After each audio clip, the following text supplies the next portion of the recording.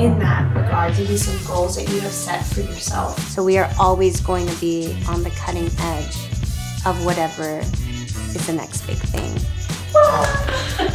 Bye, guys. Bye, see Thanks you. for coming. You ready? Wait. Are you ready? One, two, three. Sweet.